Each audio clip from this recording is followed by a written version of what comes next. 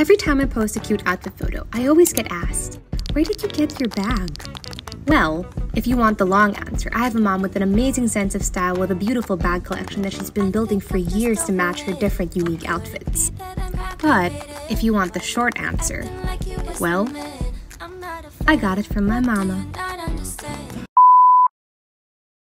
What's up guys, if this is your first time seeing me, hi, hello, my name is Fran, I'm a fashion blogger and I love to create all kinds of content on styling, trend reports, hauls, DIYs, but my all-time favorite thing to do is give tips and tricks on how to cop luxury styles or just generally fun trends affordably and easily. So, by the time you guys watch this video, it will officially be Mother's Day. So I thought, what better way to celebrate this beautiful holiday than with a video dedicated to my mom? so growing up, my mom has always been one of my all-time main fashion inspirations. She has an impeccable taste in style and she also has a banger designer bag collection. My mom has always put us at the forefront of all of her decisions and that includes her shopping. Even when she buys bags, she thinks of us. She only buys bags that she can pass down to the rest of us. So all of those cool bags you guys see on my Instagram, yeah, I got them from my mama. So today I figured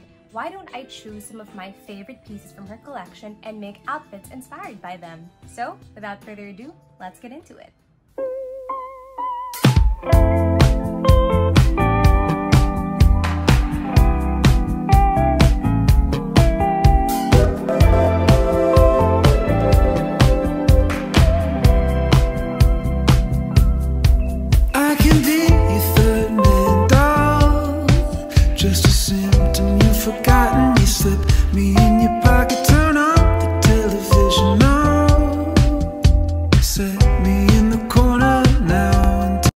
do hope I get to be at my mom's level one day. Okay, so what shall we pick today?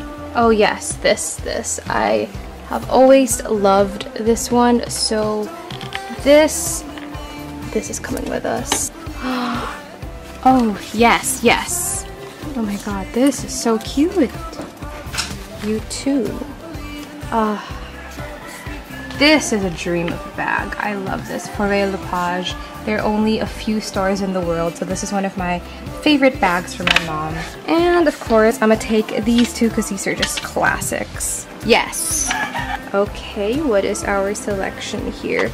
I really like this one, but this is honestly bigger than my entire torso. Like, this will take up half my body if I try this one. Okay, so to start things off, I had to begin with one of my favorite pieces from my mom's collection. This is the Louis Vuitton Magnolia Damier Canvas Bond Street bag. And look, it even has my mom's initials monogrammed on the strap. So this is a very special purchase. My mom always styles this to the T. This is probably one of my top three most used bags from her collection. I just love the shade of pink down the middle. I also just love the size. It's so dainty. It goes well with so many outfits. So yeah, definitely gonna steal this one day. Next up, we have this vintage Fendi monogrammed handbag. I'm a huge fan of the Logomania trend. I especially love when it uses the Fendi motif just because, I don't know, I I just love the vibe and I just love the colors and yeah so this is one of the bags that I am always using as well. I feel like it just matches everything perfectly in my wardrobe since most of my things are of the brown or neutrals shade. And honestly I love how it fits so many of my items without looking bulky. Like it's just so roomy inside but it still looks small and compact on the outside Next, we have the Staud Moreau Caged Clear Bucket Bag. My mom actually got this pretty recently, so she doesn't have any photos wearing it yet. But when I fished this out of her closet, I was just like, whoa, I really wish I could wear this out in public because it just gives that perfect beachy feel. But it's also something you can wear out for brunch in the city, so this just completed my cottagecore dreams vibe. Next up, we have the Louis Vuitton Nocturne PM Brown Epi Leather Shoulder Bag. I remember my mom got this when we were in Japan. She found it in this vintage designer store. And I just remember watching her buy it and thinking that when I grow up, I definitely want to be the kind of person that's worked so hard that every time I travel, I'm able to buy myself something as beautiful as this.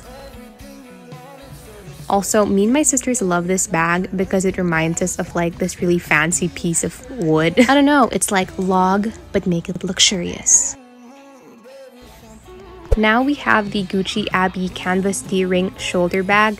If I'm not mistaken, my mom got this right before quarantine hit, so it definitely hasn't had enough time in the spotlight.